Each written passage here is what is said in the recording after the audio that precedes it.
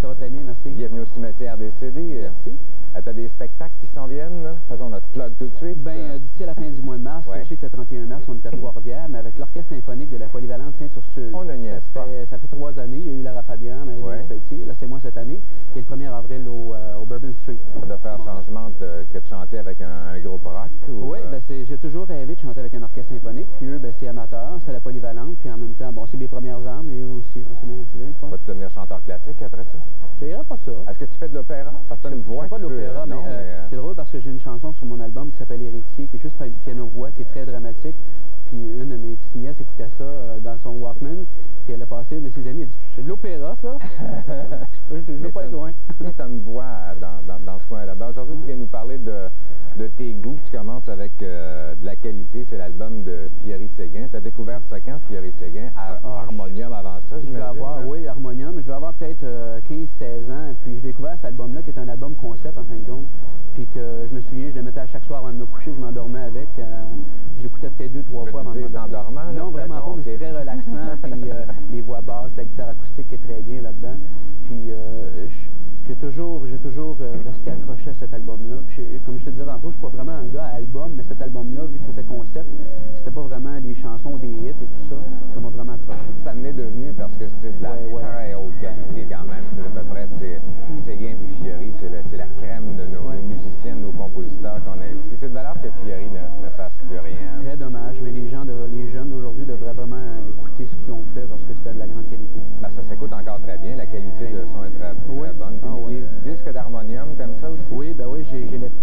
J'ai les cinq saisons. Euh, D'ailleurs, l'Heptade, je fais une chanson de, de- les- qui s'appelle Les Premiers Ciels. Je fais ça dans mon spectacle.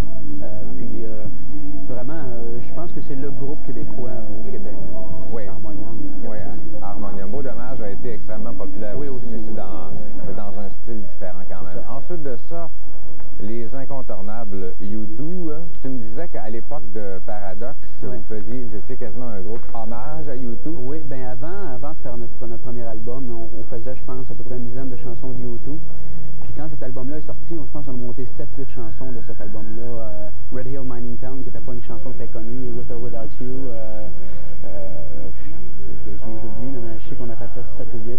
Puis bon, ben, j'ai une voix assez haute qui peut ressembler un peu à la voix de Bono. Alors dans ce temps-là, on était vraiment un tribute to U2. Les gens parlaient toujours de U2.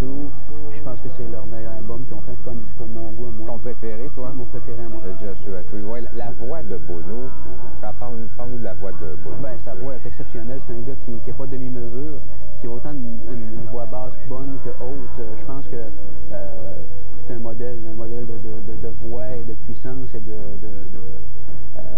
de justesse aussi, parce que, bon, t'as beau chanter haut, t'as beau chanter fort, mais en, en, en- en show, faut que tu sois capable de rendre le matériel. Ça, c'est pas Lui, facile. spectacle, est vraiment impeccable. C'est un gars qui donne toujours, toujours, toujours. Puis il passe par-dessus le mur de bruit des trois autres en arrière. euh, Oui, oui. Puis je pense qu'eux ont toujours évolué. À chaque album, ont une belle évolution à chaque fois. Je pense que quand, quand ils sont arrivés avec celui, celui-là, on a, on a resté surpris parce que c'était Sunday Bloody Sunday puis New Year's Day avant ça. Puis quand c'est arrivé cet album-là, c'était un nouveau concept. Pour moi, c'est encore un album concept. Euh, J'aime les albums concept. Puis je trouve que celui-là, c'était le premier virage, le premier grand virage de YouTube. Après ça, tout ce qu'on a entendu, c'était encore plus de virages. On dirait qu'ils ont toujours voulu évoluer euh, très Il rapidement. y, a, il y a leur équipe de réalisateurs, quand même, Brian Eno et Ouais. Daniel Lanois, qui ont sûrement Qui fait quelque beaucoup chose. ben, ça. On va regarder un extrait de With or Without You. Je les connais pas, eux autres, les Beatles. Les Beatles. C'est pas pire. Je les Ouais. aide un peu. Je fais quelques chansons d'eux autres dans C'est mon correct, spectacle pour les aider. ça. Les remettre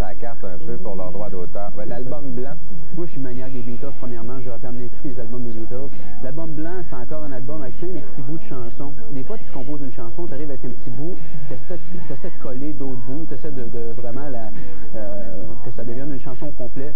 Eux, euh, on, sont arrivés avec des petits bouts de chansons, puis on, on les laisse comme ça. Le, le bout est bon, euh, puis on le laisse comme ça. Alors, c'est plein de petits bouts de chansons qui sont, sont très bons. Euh, des très bonnes paroles là-dedans. Puis c'est McCartney et Lennon, c'est les deux qui ont fait cet album-là. Puis il y a des, interventions de, de Harrison puis de Ringo Starr sont très bonnes aussi. Harrison, Wow My Guitar Gently Ouais. Chansons là-dedans. C'est un album des copies. Ouais, non, ça, un, autre, euh, un autre classique sûrement de, de la musique des Beatles. Ouais, ouais, ouais. Là, un autre. Celui-là, est- je sais- c'est, c'est dur à éviter, Sgt. Pepper. C'est dur d'en choisir des Beatles. Ben, c'est ça. sont tous. euh, On aurait pu prendre Abbey changé la musique, je pense. Il y a beaucoup de grands musiciens qui disent que ça a changé leur vision de la musique complètement quand cet album-là est sorti. C'est encore un album concept. Ouais, ça, c'était le premier album ouais, concept. premier album concept, puis euh, ça a changé. En tout cas, beaucoup, euh, comme j'ai lu des reportages sur Rick Clapton, sur euh, les Beach Boys, plein de, de, musiciens à l'époque, quand cet album-là est sorti, ils ont changé leur façon de voir la musique du jour au lendemain. Puis, très belle chanson là-dedans aussi, I'm Fixing a Hole, qui est très bonne, une de mes Laquelle, hein? Fixing a Hole, ouais. qui est très bonne là-dedans. puis, je me souviens, la chanson She's Living Home, qu'on avait appris en anglais dans un cours d'anglais, puis le, prof d'anglais nous disait que c'était un chef-d'œuvre littéraire, en fin de compte, de la façon que c'était écrit. Puis, euh, non, c'est sûr. Ouais, leur musique a été décortiquée par, il y a eu des documentaires sur Sgt. Peppers, puis tu avais des, des, grands amateurs de musique classique, puis c'était génial pour eux, la musique des Beatles, la construction des, des, des musiques. Moi, je m'y connais absolument pas, je joue d'aucun instrument, mais euh, puis, puis, les paroles également, c'était toujours assez surprenantes. Puis une des pochettes les plus flyées de, l'histoire de la musique, certain. Et en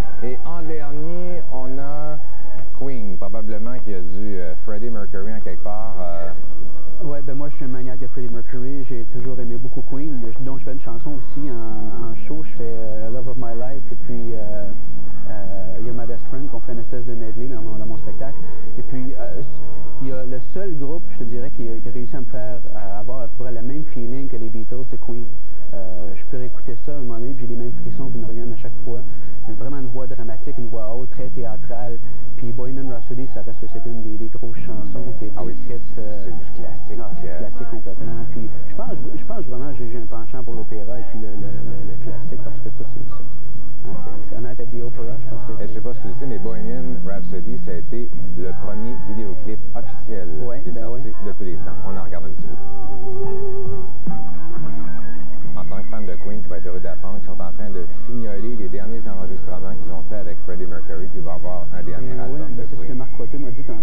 ça. Je, je vais être le premier acheteur. Merci beaucoup, Sylvain, d'être venu faire un tour euh, au cimetière CD. Merci. On s'arrête, attendre une pause.